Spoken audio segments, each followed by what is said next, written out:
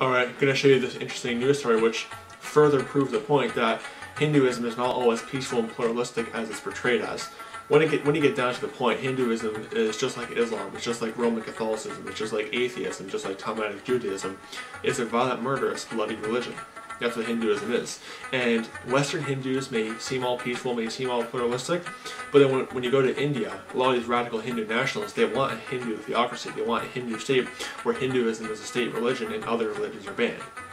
And where beef is banned because the cow is sacred, so because they worship the cows, you know, they're cow worshippers. So they don't have holy God, they have holy cow. Funny. But they want a state, they want state enforced Hinduism over in India some of these Hindu radical groups. And they persecute religious minorities like uh, Christians, Muslims, and you know, Islam is satanic, Islam is demonic, okay, that is true. But the answer is not to ban Islam, the answer is to preach the gospel to the Muslims, which obviously Hindus don't believe the gospel, but just, you know what I'm saying if you're a Christian. But I'm going to read you this article on uh, International Christian Concern, which proves the point that Hinduism is not always peaceful and pluralistic, and that Hinduism, when you get down to it, it is a violent, bloody religion, violent, murderous, bloody religion. Contrary to what the Apostle Paul said in Romans 12:18, that Christians are supposed to be peaceful, live peaceably with all men. You know, Jesus said in Matthew chapter 5, verse 9, Blessed are the peacemakers. Uh, in Galatians chapter 5, verse 19 to 21, things like murder and envy and, and lasciviousness are lusts of the flesh, sins of the flesh. So murder is wicked, it is sinful, and this thing of, of we're gonna just kill to get our theocracy is unscriptural. Jesus said in, in John 18, 36 that his kingdom's not of this world. Otherwise the servants would fight. That's what sets Christianity apart from Roman Catholicism, apart from Islam, apart from Hinduism, apart from Talmudic Judaism, apart from atheism, is that Bible-believing Christians, we don't seek an earthly kingdom, we don't seek an earthly state.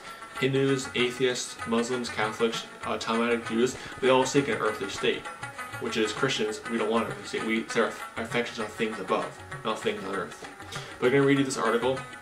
It says, according to Asia News, uh, Ra Rajesh Gupta, hope I'm saying that right, a Christian pastor and his family were brutally attacked by radical Hindu nationalists with sharp weapons uh, while Pastor Rajesh was reciting a prayer in his home of another believer. A friend of a friend rescued Pastor Gupta and his family and drove them to the hospital, where his wife remained hospitalized with a fractured fractured hand and leg. It was, it was registered as a second attack against Christians in Faridabad this, this year. I'm saying that right. On June 20, a group of Hindu fundamentalists attacked an educational center, part of the Grace Assembly of God Church in Faridabad, and placed a Hindu deity statue. Soon after, Bhatti, a, Protestant pastor, was ambushed, beaten, and fatally hit in the head by Hindu radicals with a sharp weapon. The Christian community has called for justice over the murder of Bhatti and the rising violence against Christians. Quote, it is a pity that a few days before the Independence Day, Indian Christians are denied the freedom to pray and preach. Uh, Sajan George, president of the Global Council of Indian Christians, told Asia News, quote, not everyone enjoys the freedom of worship, and even in the privacy of their homes, not everyone enjoys the same privileges. And this proves my point of why there needs to be a separation of church and state. Because when you have state-enforced theocracies, even in, in countries like China with state-enforced atheism, even home churches in the privacy of your own home, you can't meet together. So like I said, Hindus in, in Western world, they're pretty peaceful, they're very pluralistic, but you go to a Hindu nation like India, they want to have a Hindu state. And even when you're worshipping in the privacy of your own home, not bothering anyone, just in your own home, on your own property, they can't even stand that. The Hindus want to shut that down too. This is why you have to have a separation of church and state, which guarantees religious freedom.